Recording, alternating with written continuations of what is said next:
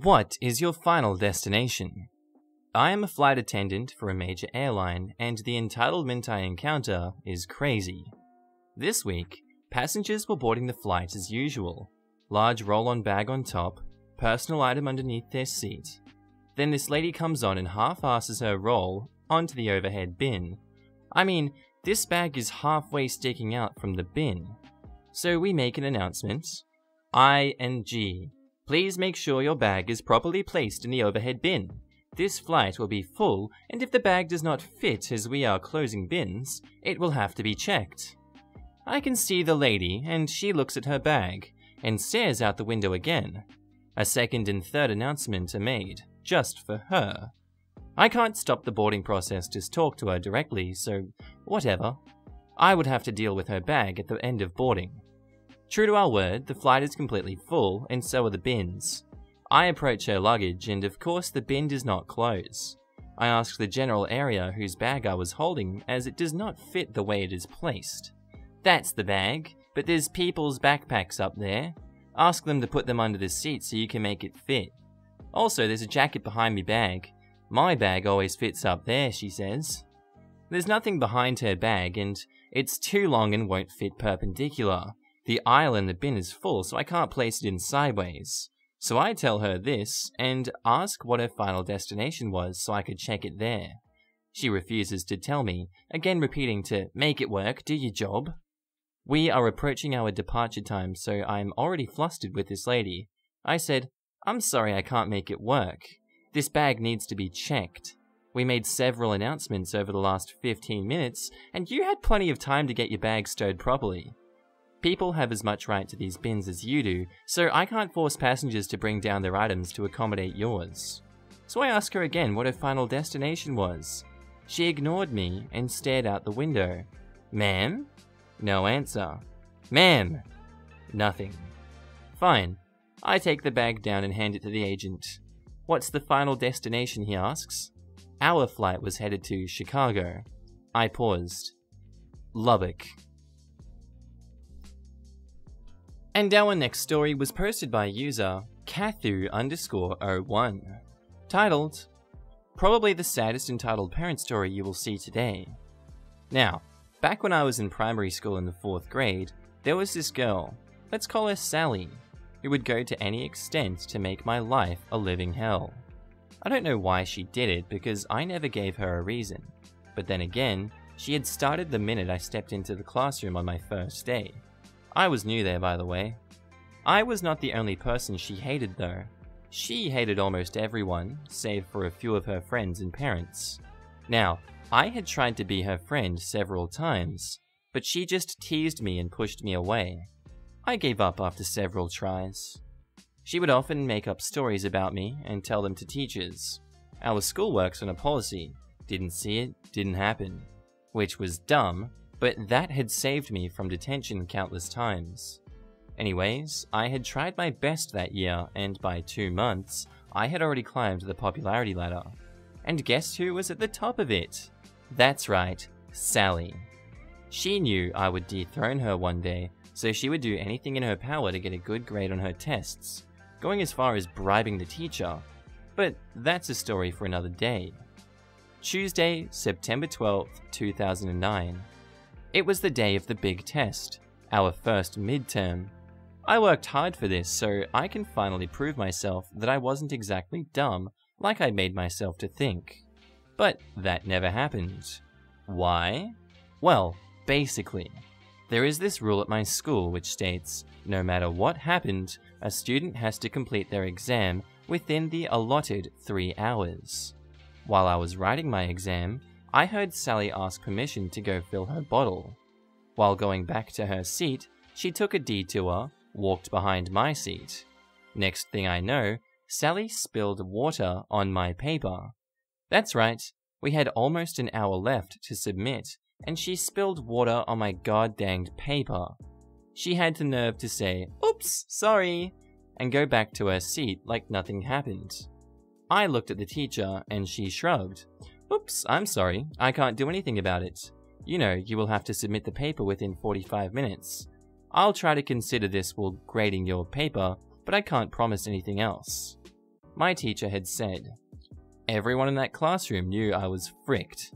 What happened next was completely obvious. I waited for the paper to dry, but it didn't. Then I had to submit my paper incomplete. Up till now, I never told my parents about Sally because I knew if I did, my mum would definitely pay my teacher a visit and cause problems, and I didn't want that. But that day, Sally took it too far, and I told my mum everything. The next day, my dad complained to the principal. She called in Sally's dad, and here is how the conversation went. Carstar, MD, my dad, SD, Sally's dad, S, Sally, and P, principal. My dad. My daughters told us yesterday that Sally here has been giving her trouble since day one. What she did yesterday was unacceptable. I want you to allow my daughter to retake the test or anything that will help her grades. Principal. I'm sorry, we can't do that. Once the test is done, no one is allowed to retake it. My dad. Not even do something for extra credits? That we will think about. What about Sally here? Isn't she going to be punished? Sally's dad. Why should my daughter be punished? She didn't do anything wrong. My dad. She spilled water on my daughter's test paper. That's called sabotaging someone. I'm sorry, did you just say my daughter sabotaged your daughter? She doesn't have a need to do that. She is better at everything than your daughter. Sally. That's true. Cat here could never beat me. That's going to be proved from our exam results. Me. Mrs. Principal, I saw her spilling it purposefully. You can check the cameras for proof. At the mention of cameras, Sally and her dad both visibly shuddered. Sally's dad. Well, do that some other day because we don't have time right now. Come on, Sally, let's leave. And that was the end of that. Our principal promised my dad she would look into the matter and look at some camera footage, but we knew that that would not happen. Later that day, my mum decided to go pay Sally's house a visit. Sally lived very close to us. It was a minute away from us. When we rang her doorbell, Sally's dad opened the door. Sally's dad. Yeah? My mum. Hi, I'm Kat's mum. I want to talk to you about your daughter. Sally's dad. There's nothing to talk about. Leave. Right then, a voice called out from inside asking us to come in. We walked in, and first thing we noticed was a woman who looked deathly sick. Her head was shaved, and she looked like she would drop to the floor any moment, but she still had a sweet smile on her face. SM. Hey, I'm Dee, Sally's mother. What did you want to talk about my daughter? My mum hesitated at first. No, no, no, tell me whatever it is. And then my mum told her everything. After hearing the whole story, Sally's mum called both her husband and daughter and made them apologize to us. She told us she had a brain tumor, and we talked for a long time. Both the mothers hit it off immediately, and while they were talking, Sally's dad called me. Sally's dad. Hey, I'm sorry for acting this way. I just that I know Sally is going to lose her mum soon, and I didn't want her to feel like I was a bad parent. So I had to support her no matter what. I know that's not an excuse, but I hope you forgive us. Of course, that wasn't a good excuse, but I understood. Even at the tender age of 9, I knew losing a mother could potentially turn you into a jerk. Sally then apologized to me, saying the only reason she did all that was to seem tough, because if she didn't do that, she would have broken down in class almost every day. After that day, we were best of friends.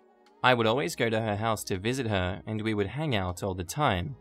I moved the next year, but we still had contact with each other for months. Then both got new friends and we drifted apart. In 7th grade, Sally called me to inform me her mum had died that day. I had to comfort her through the phone for an hour. The reason why I'm writing this story was because last week, I went to visit her as it was her mum's death anniversary and I met Sally and her dad. They were the sweetest. I then realized while most entitled parents are just plain jerks, some are only entitled because of circumstances. Edit. Okay, I'm sick of seeing comments like, this is fake, how can a 9 year old take a 3 hour test, and how does one have midterms in September, etc., etc. Here is my answer. First off, you need to realize that not the whole world is not America. Each country has its own laws, its own system. I'm from India. In India, our school starts in April, and we have midterms in September. Now for the part about the exam. Like I've mentioned in a comment, Asian education is weird. Nine year olds taking a three hour exam is nothing out of the ordinary. You can look it up. As for retaking the test, it's a crappy rule I'll admit, but it's a rule nonetheless. I had to do a project to make up the grade, so it's all good. It is ironic how some people are entitled enough to think that everyone should have the same experience as them in this sub. And our next story was posted by a user, I am the Miss Mouse, titled, Entitled Mother and Entitled Kid on My School Bus. I was a school bus driver for over 20 plus years, worked for three different districts in that time. The first two were normal districts, and the last was for a ESD, Educational Service District. Drove a Head Start slash ECEAP bus, had three to five years on the bus. So the last couple of years, I seemed to have hit the jackpot on entitled mothers and kids. I, the second to last year before I retired, I had kids from 17 different countries and had 31 different languages spoken. I had a little guy who was from Pakistan. He wore the head wrap, the ceremonial knife, no knife, only the top of the knife. Sweet little boy. He wore this four days a week to school. Enter our entitled mother and entitled kid white mum, and little boy. This kiddo had me wanting to do Marigrits between runs. Ugh. About three or five weeks into the school year, my bosses called me into the office. Seems entitled mother called the school slash transportation, saying that the Pakistani boy had pulled his knife on entitled kid on the bus. I started laughing. Explained that A. Never happened, as they don't sit anywhere near each other on the bus. B. The knife was a fake hilt, the handle only into the scabbard, that I had checked it on the first day I picked him up, told them to come with me for drop off.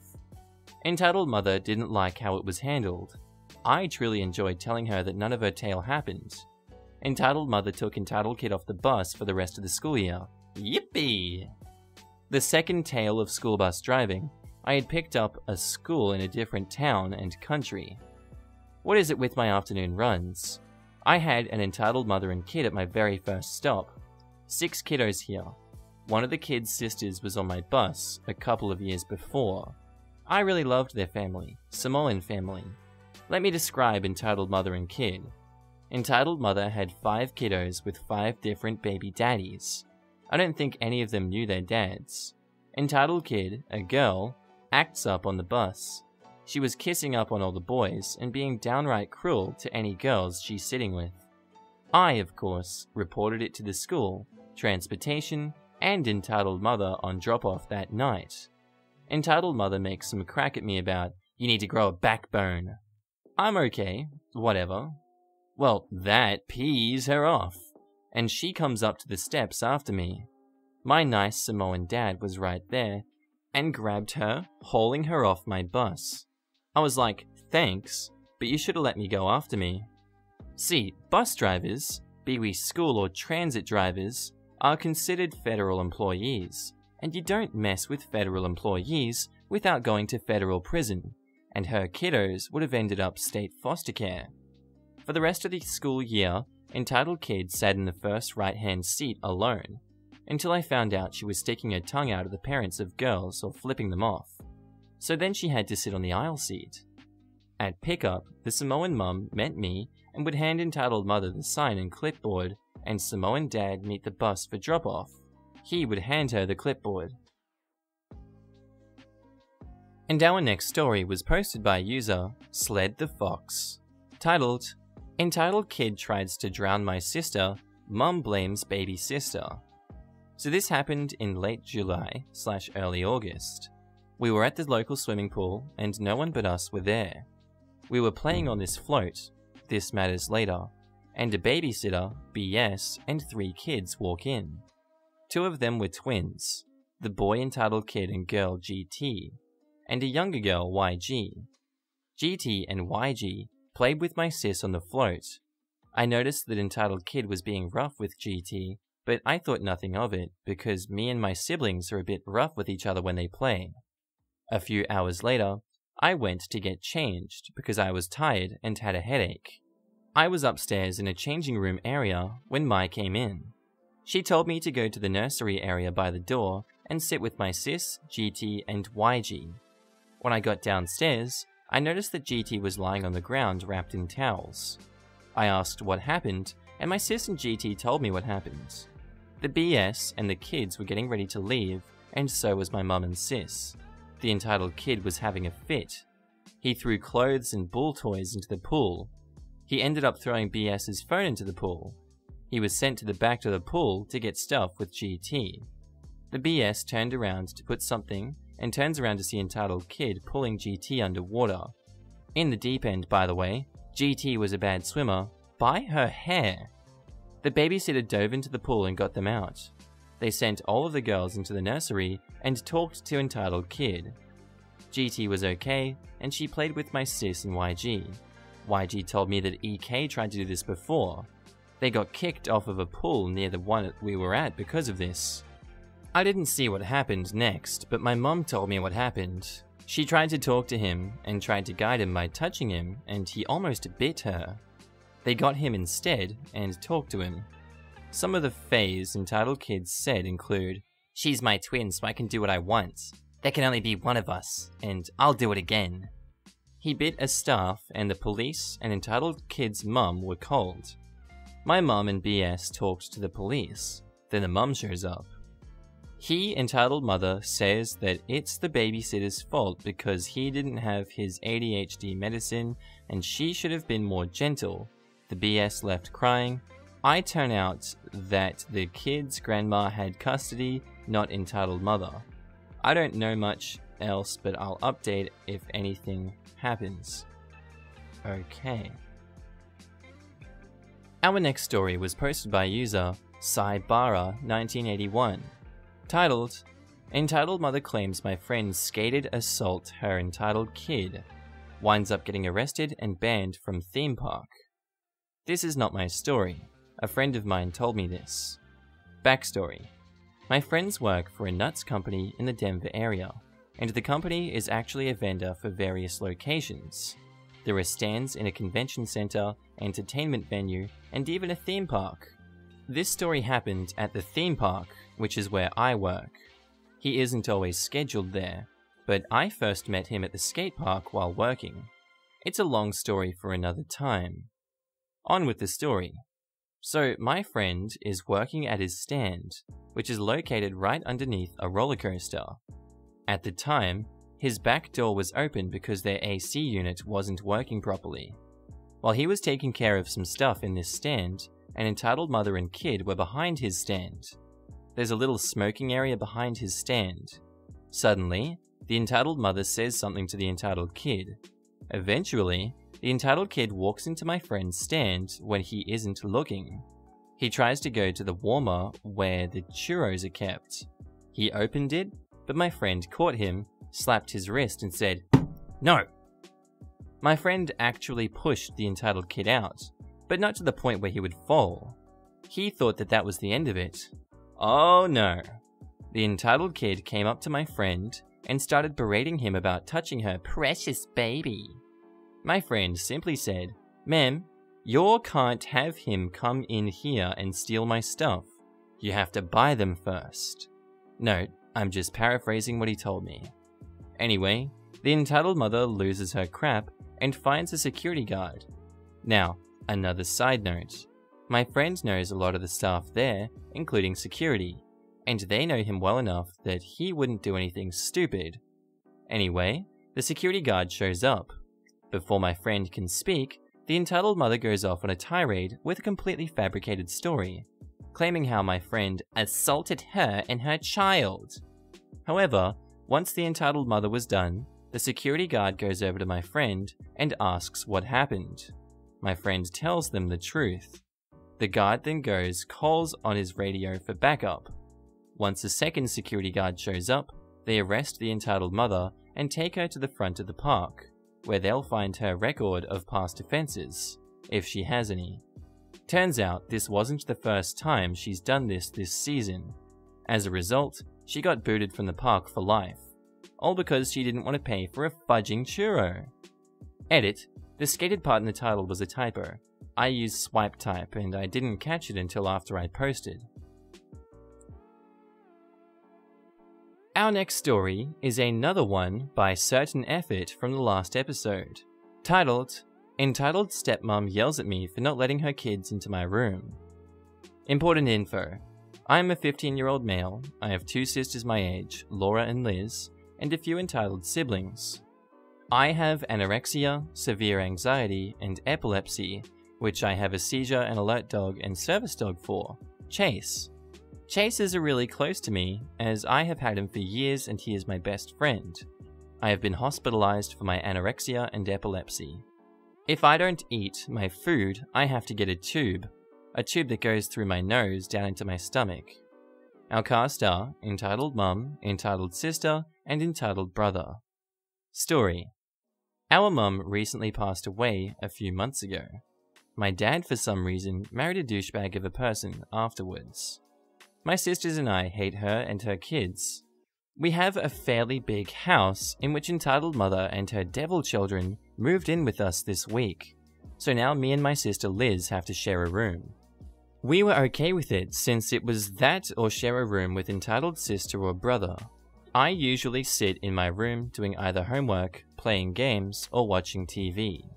Yesterday morning, I was getting fed through a feeding tube and was drinking tea, peacefully chilling out playing some Minecraft because it was the weekend, when entitled mother bursts into our room demanding that I let entitled sister and entitled brother play. Then, when she sees my tube in my nose, she screams like a dying banshee that had mental problems. It was so friggin' loud. Then she starts yelling at me that I have to take it out because it would mess up my, her kid's brain. It's not like I'm a zombie in a horror movie, just a tube in my nose. I will admit, I do wear a mask when I have it in public. Of course, I say no, and explain that it's how I eat. My dad came over to see what was up, and he sees Entitled Mother looking at me after he pulled Entitled Mother out and explained why I had a tube in. I think she understood after that. Later that day, Liz was playing on her HTC Cosmos when someone comes knocking. I open the door to see Laura asking to play with Chase. I say sure, and she comes in. Note, I don't handle loud noises very well, so I was fairly shaky after all the screaming. We are watching and laughing at Liz failing when we hear a knock at the door, and it's none other than entitled Brother.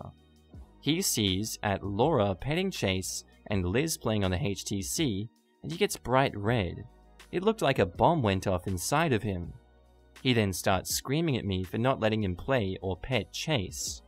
I just shut the door. Then he knocks on the door again, and when I open it, Entitled Mother is standing there telling me to let her son in. Then she sees my tube still in and proceeds to try to rip it out, which is extremely painful. I slid to the floor coughing because the tube wasn't closed, so some fluid spilled into my airway and my nose. My dad came over right as I recovered from coughing, and I realized that I had the pins and needles feeling spreading in my legs, the sign of a seizure. After that, I passed into a seizure for about three or four minutes. When I woke up, I found Chase lying on me, entitled mother and entitled sister watching me in horror. Liz was trying to calm me down, and my dad looked like he was ready to have a fight with entitled mother for yelling at us again, or something he told entitled mother. Entitled sister to stop bothering us. They stopped for the rest of the weekend, and me still have yet to talk to either of them. Dang, I hate my new stepmom. Edit. Thank you everyone. I really appreciate this support. I have started a diary and a video evidence in my room. I don't really want to contact CPS or the police, as I would feel really bad putting my family in foster care or something. Hopefully, it doesn't become necessary. Again, thank you for your support. Also, just to clarify, my mum died 11 months ago, and my dad married less than one month ago. Update The police were not called, CPS is not involved. At the time of this post, there has been recent another incident that has gotten CPS and the police involved. I am currently in the hospital, and I will write about the outcome of the entitled mother and my family once Child Protective Services is done with their investigation. Thanks for the support. And our next story was posted by user Bluggon, titled A crazy lady followed me home for dumping trash in a dumpster I was allowed to use. So, I'm in the process of moving, and I'm buying a house with one other person, and we are both selling our houses to buy a new one. My house sold faster, so I moved into a small apartment until the other's house gets sold. We moved in at night, and the next day we had a lot of fresh extra trash from my house, so we used the dumpster. A family friend was helping us move, so they were helping us dump things. All of a sudden, this lady in her late 60s pulls up in her car and just stares at us while we dump things. Then she gets out of her car and goes, What do you think you're doing? I tell her we are throwing stuff away, and she tells me, This dumpster is for tenants only. She says this as she points to a sign next to the dumpster that says tenants only. I say, Well, as of last night, I am a tenant, so I can throw my stuff away. She scoffs and starts taking pictures and videos of us dumping trash. Then we take our U-Haul over to our friend's house to give them the stuff that we bought from us, and as we're driving, I get a call saying that the lady is following me. And sure enough, she is following me about three cars behind. I pull into a neighborhood, and she continues to follow me for a few blocks. My friend calls the cops, and I get out of the car and say, What's your deal? And she immediately drives away. This was only earlier today, so I'll update this post if anything else happens. And our last story was posted by user Metal, the anime fan, titled, Entitled Dad Wants to Put His Family's Kitten to Sleep rather than paying 60 euros for treatment. So this just happened today. For a bit of context, I'm doing a two day internship at a vet. It's very interesting to see the vet at work.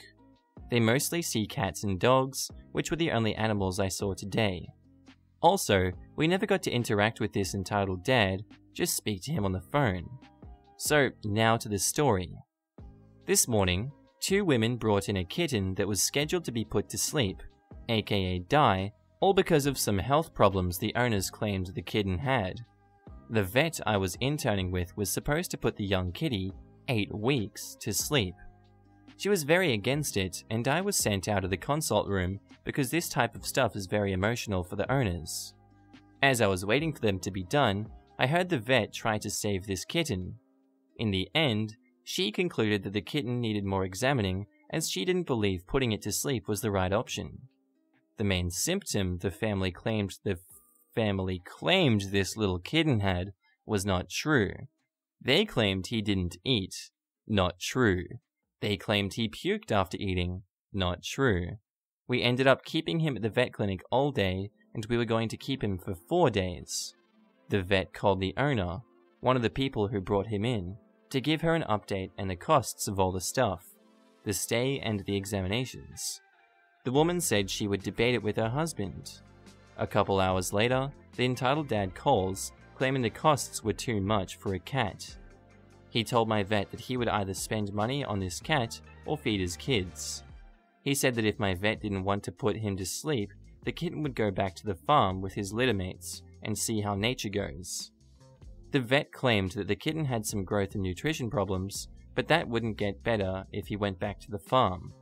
He then wanted to take the kitten back without the costs, the vet said that he could discuss this with her boss. I don't know how the kitten is now, but I hope the kitten is still there tomorrow. We'll post update tomorrow. And update. This morning, the kitty was there. The vet said the owners are going to wait to see if the vet can find anything. We noticed that the kitten had some neurological issues as he was moving his back legs very weird. The vet thinks the owners wouldn't want it anymore if they learn about the leg issue, and maybe they will relinquish him.